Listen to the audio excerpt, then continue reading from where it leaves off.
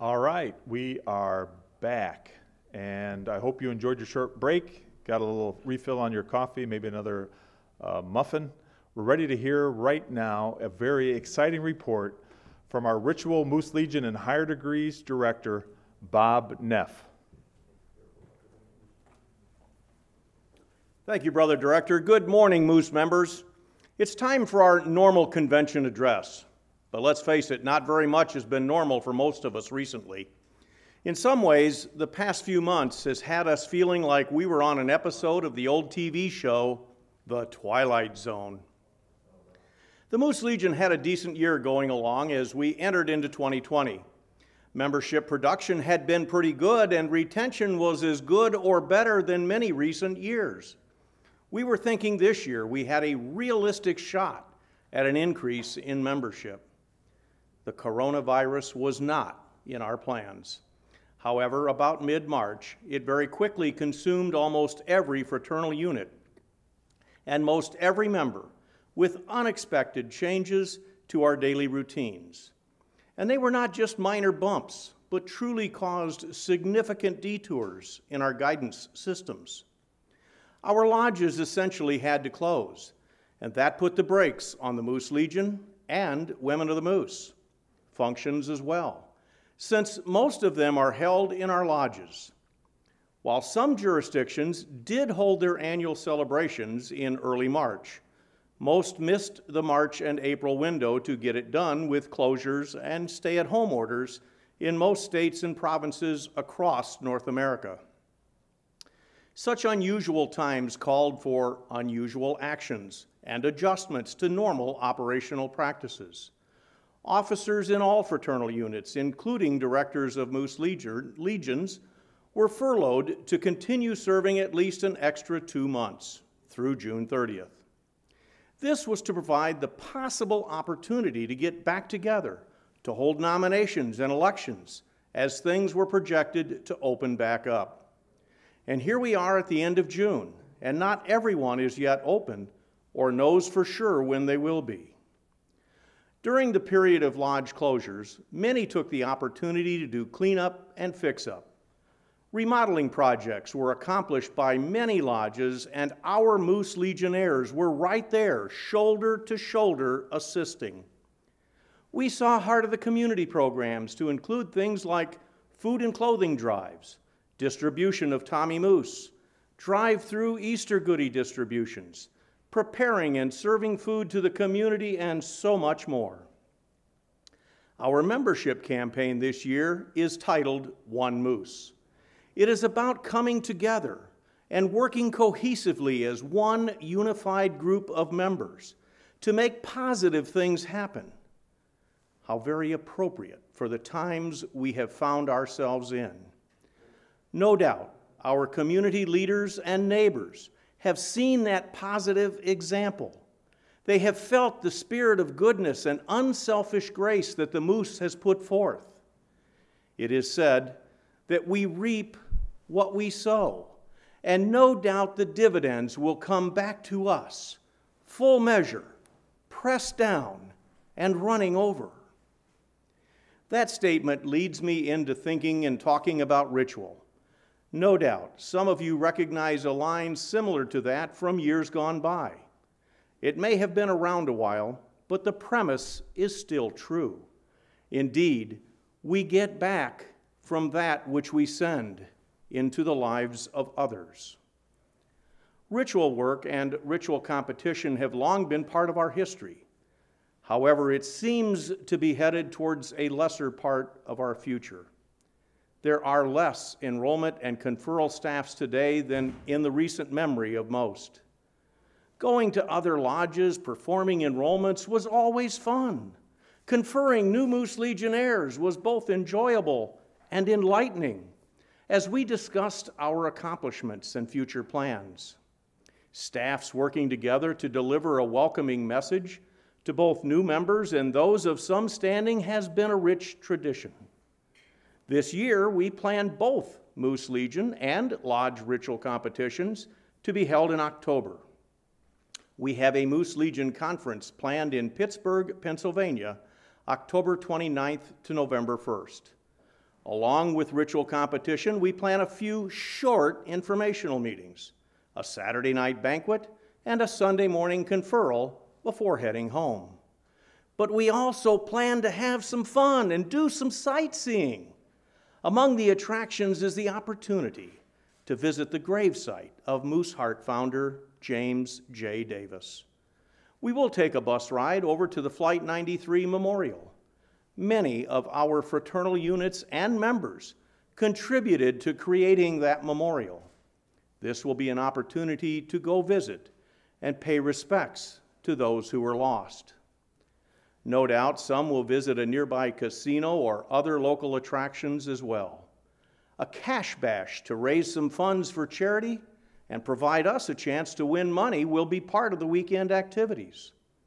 An available souvenir book, along with shirts, patches, ball caps, and more, will help commemorate the event. Details have been posted on the website. Housing is open, and parking at the hotel is free. Registration can either be mailed in or done online. We are looking forward to seeing many of you in Pittsburgh as we gather to enjoy each other's company and recognize some top ritualists. Welcoming new members into our fraternity and its higher degrees is one part of our program. Another attribute is retaining those we already welcomed into our fraternal circle. Frankly, we should be working more diligently at this and doing so all year long. We do have some councils of higher degrees who have been working with chapters, lodges, and Moose Legions to help retain our members. While most of them raise funds for Moose charities and help support association projects and do much to recognize newly advanced members, retention is really the primary goal of these groups. Friendly phone calls, cards, and letters all help. What might help the most is that contact that comes when we simply call to say hi and check on their well being before we get to a point of trying to collect dues. Whether you have advanced to a higher degree or not, please get involved in helping to reach out and retain members. We also want to, to mention rewards points here. Why, you might ask? Well, we get those for serving as officers, attending training and conventions, and sponsoring members, right? Yes, that is all true. But did you realize you also get rewards points for renewing your own dues, as well as when a member you sponsored in the past couple of years renews their memberships? That should prove to be an incentive to get the original sponsors involved. For instance, a member I sponsored into the Moose Legion who renews gets me 250 points. A lodge or chapter member I sponsored gets me 600 points if they renew the first year, and 1,000 points if they renew for that all important second year. Cha-ching! Those points add up. You can renew your own dues with them. You can make a donation to Moose Charities or buy items from catalog sales. The choice is yours. Seems like a pretty simple slam dunk reason to reach out and retain members. Please check out the full details on the website and sign in to the My Membership Record portal to see where you stand. Now, since we mentioned higher degrees, let's talk a little bit about those honorary levels. There are roughly 14,000 members who hold the fellowship degree of honor. The minimum criteria to be considered has changed very little over the years. It was at least five years of lodge membership and at least 10 members sponsored into the lodge, with at least one into the Moose Legion for several decades.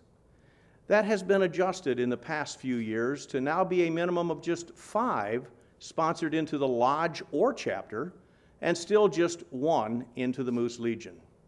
That has opened the door to a few more people, yet some members question the sponsoring requirements. However, we are very much a membership driven organization. Membership is indeed our business product, and it just seems that everyone worthy of a higher degree ought to make this type of a minimum contribution. This year, we received some 573 recommendations from lodge committees for advancement. Of those, 460 were approved and invited to a conferral at the Milwaukee Convention. Sadly, as we all know, that did not happen due to the coronavirus pandemic. Once we got back to the office on June 1st, we went to work addressing notices to send invitations to those individuals for the annual Fall Association conventions where they could get conferred. Unfortunately, it now looks like a few of those will not be taking place. We are looking at potential alternate plans and will make that information available. An approved candidate does get up to four invitations. Normally, the first is to International Convention, with the second to the Fall Association meetings and the third and fourth invites are to the similar meetings the following year. Whatever takes place going forward, the Director General has made it clear that no one should lose out on the four opportunities to attend a conferral at some point. The invitations remain confidential until the member is actually conferred. We will work to do all we can to provide reasonable opportunities for all candidates. Following right along with that is conferral of the Pilgrim Degree of Merit. In the 102 year history of the Pilgrim Degree, there have been 91 conferrals. The 92nd opening of the Pilgrim Crypt was scheduled for May 23rd. Again, due to Corona, it had to be canceled to keep everyone safe. After all, most of the Pilgrim elders and many of the fellows approved as candidates would have been high risk individuals. The Illinois guidelines simply would not and still will not let us hold a function of that size. The Pilgrim Council met remotely and decided to hold all candidates over to next year. They will join the class of 2021 at the 92nd opening on June 5th, 2021. It will no doubt be a spectacular class and a very full house of God that day. Plans are underway to be able to use the side chapels and most likely live stream the ceremony to them so more of the current pilgrims can participate. We will get it done. Now, if we may, let's turn once again to Moose Legion specific items and discuss some accomplishments.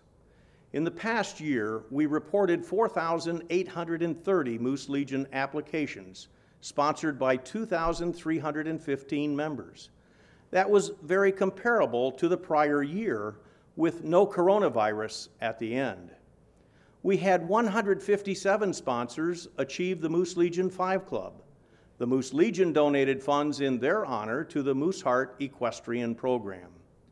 We also had seven Moose Legionnaires reach Sponsor of Distinction status by sponsoring at least 25 applicants during the year they will get a special alternate award of being offered a One Moose campaign shirt in lieu of the typical convention registration this year. 52 jurisdictions had all seven directors sponsor at least two applications to earn the Director's Key Club. That was four more than the year before. Another 92 individuals led by example and qualified in the Ambassador Division. That was five more than last year we had 53 jurisdictions show an increase in members at year end. That is about 33% of our fraternal units. 24 more jurisdictions were within just 10 members and simply needed a little more positive retention efforts to have made plus one status. The Florida Association reported the most applications with 685 while Colorado ranked number one for applications based on per capita. The top Moose Legion, Manatee, Florida, number 58, reported 222 accepted apps. Our top sponsor with 60 applications was William Hauser of Manatee, number 58, edging out Ronnie Douglas of Tar Heel, North Carolina, number 158, who had 55 apps reported. At the end of March, we were down just 726 active members, or about 1.4% for the year. But Corona hit, and everything just about stopped. Had that not taken place, we had a realistic chance of being plus for the year. Instead, we slid to being down 1,562, ending at 50,269 active members. As positive news, the Moose Legions were again very generous in their giving to Moose charities. The Moose Legion has a history of overrunages when it comes to fundraising efforts. Tomorrow, we will have a detailed report that will provide some overall accomplishments. Be sure to tune in and listen when our project chairman reports during our 9:30 a.m. presentation on Friday. We can't help ourselves on one detail though, and have to spill some of the beans. We were at 13 years of annual endowment fund increases and were concerned as the year wound down how we would end and if we could generate another increase with Corona hitting us. However, our amazing Moose Legions and our members came through and extended the streak to 14 years of increases. Thank you, Moose Legionnaires, for supporting our children and seniors. Please tune in tomorrow for the full report of who won what divisions and the overall total raise this past year. Three years ago, we began a new recognition program known as the Moose Legion Award of Excellence. Tomorrow morning, we will have a report detailing the top finishers this past year. The Moose Legion Council works to review various programs, consider Code of Rules proposals, and a host of general operational items throughout the year. They do so via email and Zoom meetings to stay current on actions to enhance the programs of the degree of service. They also work right along with our leadership in the local jurisdictions to help build membership. Each year, they have been achieving the Key Club, just as we ask local jurisdiction boards to do. This past year, the Council sponsored 40 Moose Legion applicants and had a lifetime total of 1,060 membership units. They also collectively sponsored 67 lodge and chapter members during the year. Their lifetime accumulative total was 1,555 as of April 30th, 2020. The point is, they are not asking our members to do anything that they are not doing themselves. Unfortunately, we lost a councilman this year. Vice President Ashley Coffin had a short battle with cancer and we lost him in October. Ashley was from Sudbury, Ontario Lodge number 230 and Nickel City, Moose Legion number 29 in Canada. Ashley was in the 100 division of the 25 Club and held the Moose Legion Medal of Honor. He received the fellowship in 2007 and Pilgrim degree in 2013. He will be missed. Our thoughts and prayers go out to Anita and to the Coffin family. The Moose Legion Council, with approval of the Supreme Council, passed a resolution to name Ashley as an honorary past international president. We were able to communicate that to him just two days prior to his passing. He was emotionally touched and expressed his sincere gratitude for the opportunity to have served. May he rest in peace. We also lost past international president Ralph West of California. Ralph was both a 100 Division 25 clubber and earned the Elite Moose Legion ring. He was awarded the fellowship in 1989 and Pilgrim degree in 1998. He served as international president in 2004 2005. Our thoughts and prayers to his wife Karen and his family. We also lost another past international president, this one from Illinois.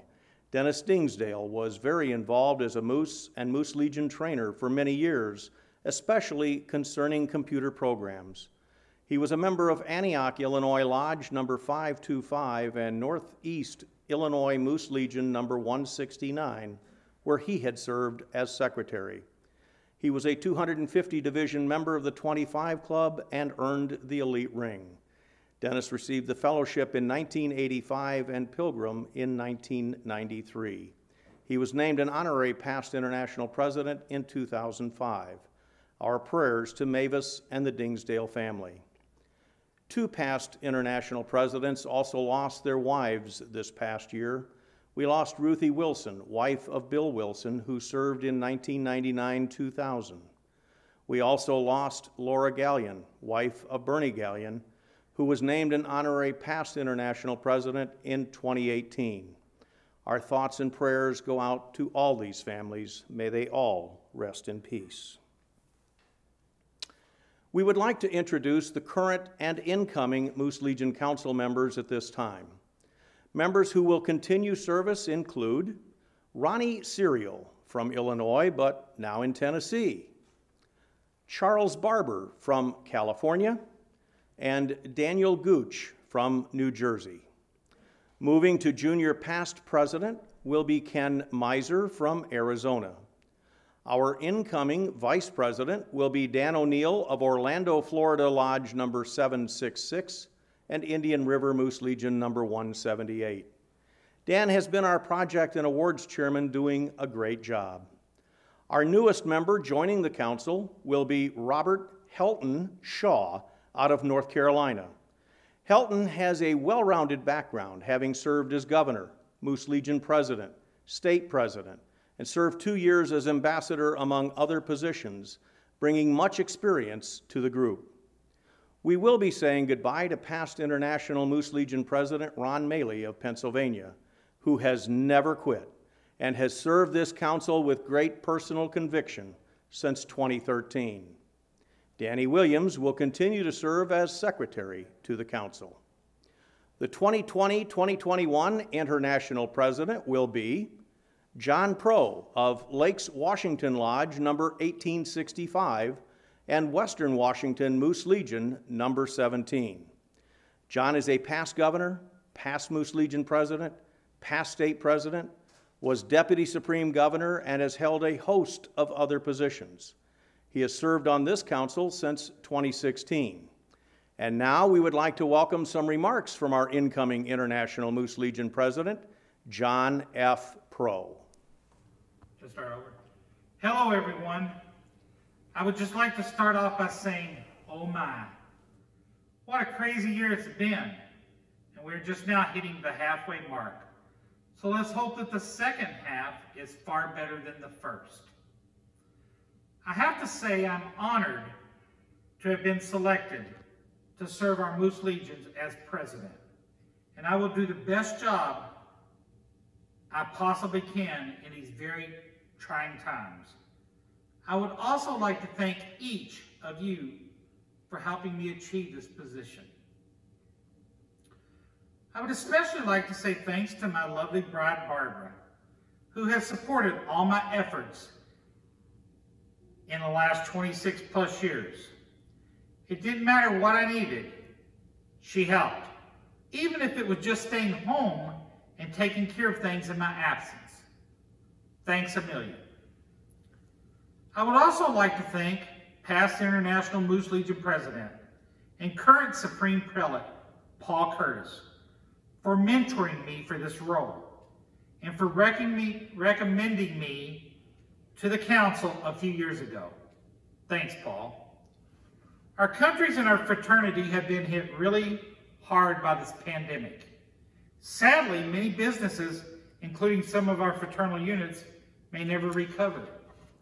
But we all must become one and ensure that we do everything possible to make the impact on our fraternity as painless as possible and take the necessary steps to ensure the survival of our twin cities, Mooseheart and Moosehaven.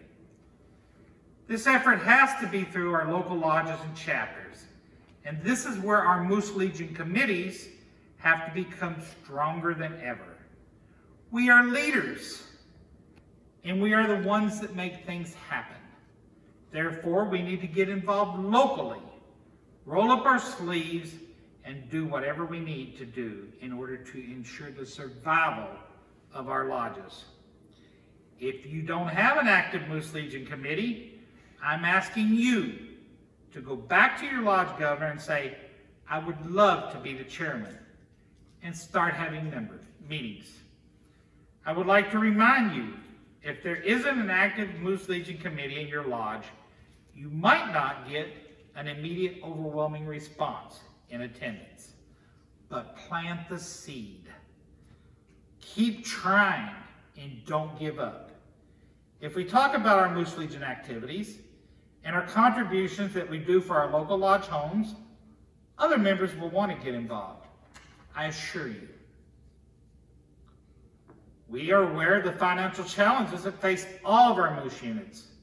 As such, we have selected some lower cost projects this year in hopes that you will use the other revenue to assist your local lodges and your associations in their fundraising causes. This year, my project will be to raise money for a transport vehicle for Moosehaven.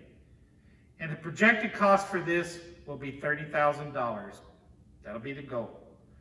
The Moose Legion project will be the renovation of the House of God at Mooseheart with an initial goal of $60,000, which of course is a lot lower than the previous efforts. The biggest focus for this project will be to replace the carpet. Of course, we will always promote the endowment fund as a way to ensure the survival of our Twin Cities. I am sure that with your help, we will once again increase our year-over-year -year efforts. We have had declines in our membership numbers. We can't continue down this path, or someday we will be nothing but a memory. We just cannot let that happen. We, being the leaders, the movers and the shakers of our fraternity, must look around and see what it is we need to do to make our lodges a vital part of the community again, to make people want to become a value member. I have noticed in my own lodge, and I'm sure some of you have noticed this as well, our membership seems to run in cycles, depending on what is going on locally. For instance, we get a few members interested in playing softball in a league. They convince their players to join, and soon they are getting involved, and our lodge homes are flourishing with activities. Oh, then someone quits, the rest of the team follows, and our lodge homes become less active. We just can't let this happen and expect our lodges to continue to exist. Years ago, when I was the family activities chairman, and my lodge was pushing to become a family fraternity, I had people tell me, well, yeah, we don't want kids in our homes, and so on. At that point, I reminded everyone, as a family center, we have to have activities to cater to all age groups, and the young and the old, and of course to the women as well as the men. These are things we need to remember and make happen in order to attract and keep our members. As a Moose Legionnaire, we are members of a higher degree, and as such, we should be helping with retention efforts. That means being willing to come down to the lodge and make some phone calls to reach out to those members of both the lodge and the chapter that are currently in expired status and convincing them to renew their dues. We should listen to why they aren't current and take this information back to the lodge, chapter, Moose Legion officers. Sharing that information hopefully helps correct those issues, and results in getting those members back. No, we can't fix everything and retain everyone, but a little bit of effort does go a long way. And I'm counting on each of you to make that effort. As many of you know, I am a die-hard University of Kentucky basketball fan. If you ever watch them play, they live and die by the three-point shot. That being said, every year I hear, let's shoot for plus one. And while that is good, we need to think beyond that. As such, I say, let's shoot for three. Let's shoot for a plus three in our lodge, chapter, and of course, Moose Legions. And I am asking, no, I'm begging each of you to shoot for a minimum of three sponsored in each fraternal entity you are eligible to sponsor into. If we all focus our efforts, keeping this in mind, we will be back on the right path and we will go to Cincinnati with membership pluses in our fraternity. In the next two days, we will have the opportunity to take another historic vote on our general laws. If passed, they will change the face of our fraternity forever, and the time is now to make that happen. As leaders of our fraternity, we must all put our personal issues behind and focus on what is good and right for the fraternity as a whole. So, as such, if you are a delegate, I am pleading with you to please do the right thing and cast the vote to make us one moose at last. With that, I will close with this. I am sorry I didn't get to see you all in Milwaukee and address the Brotherhood at both the breakfast and during the Moose Legion report. But things happened beyond our control. I would still love the opportunity to meet as many of you as possible. We ask that you all consider coming to Pittsburgh in the fall for our celebration there, and let's have some fun.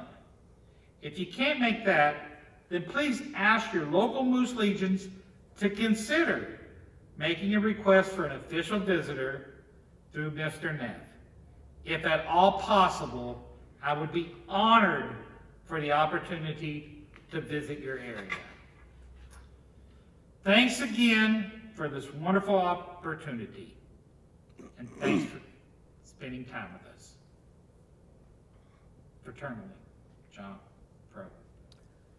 That's it. Thank you, John. We look forward to your year as president. Truly, we can do much to make our fraternity better, stronger, and more vibrant. It just simply takes creative thinking, cooperation, and working together. Our campaign theme this year is One Moose. That is way more than a general laws proposal. It is a mindset of cooperative thinking. The old adage of a burden heavy to one is borne lightly by many has never been so true as it is today. If collectively we strive to be humble and kind to one another, if we come together for mutual support and aid, if we just remember it's not all about us individually, we can accomplish a great deal. Working beside each other, standing shoulder to shoulder, we can achieve many goals. We invite you to stay the fraternal course and take this journey with us, doing good for those we serve especially for our philanthropic endeavors to support Moosehaven and Mooseheart. Everyone makes a difference. Please strive to make yours a positive difference with ours as we team up with President John and shoot for a minimum of three each. May God's grace be with each of us, and may His divine blessing be ever present upon the entire Moose fraternity and all its members. Thank you for your attention. Brother Director General, that completes our remarks this morning. Thank you all very much for your attention.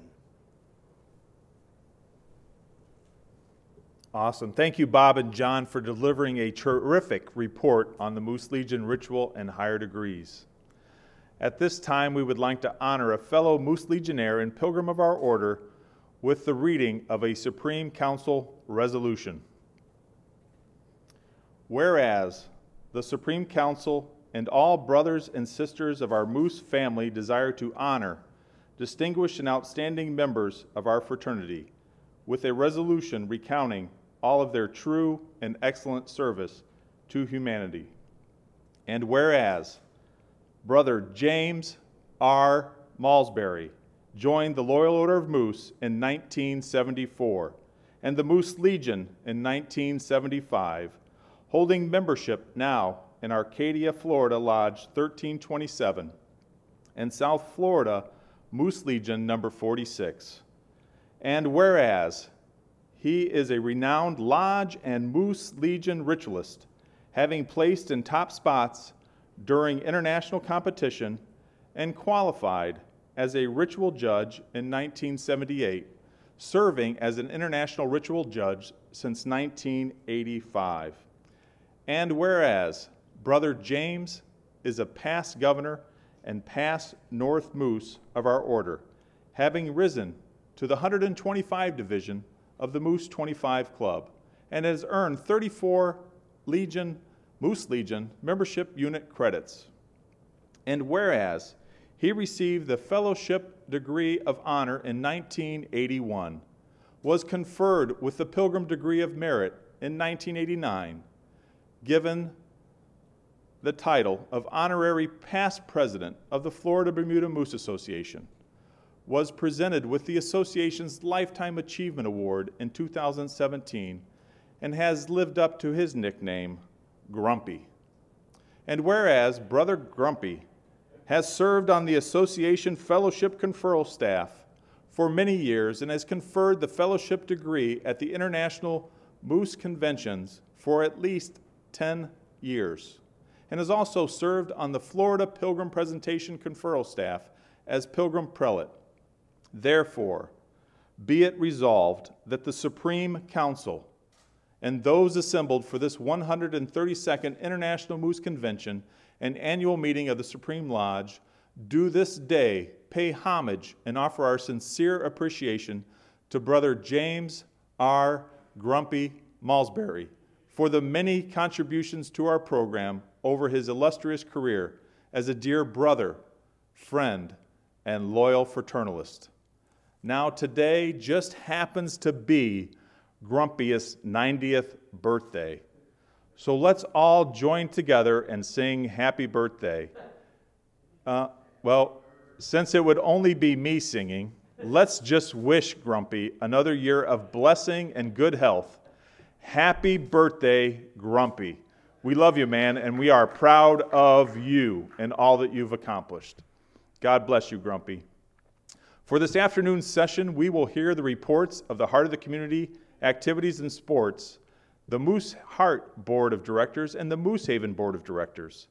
The session will begin at 2 p.m. Central Time. The evening session will begin at 6:30 p.m. Central Time, and we will hear the reports from the Credentials Committee, Rules and Order, Director General, and Supreme Council, along with the nomination of Supreme Lodge officers. Reminder that the Loyal Order of Moose delegates registered for this convention can vote on the general law amendments by going to the general laws tab, delegates voting in the virtual convention website, right? You'll, as you go there, you'll see the general law amendments voting link. Click there. Voting remains open until 5 p.m. Central Time on Friday, June 26th. So, again, 5 p.m. Central Time. Uh, enjoy a little lunch break, maybe a little brunch and we will see you in a few hours at 2 p.m. Central Time. Thank you.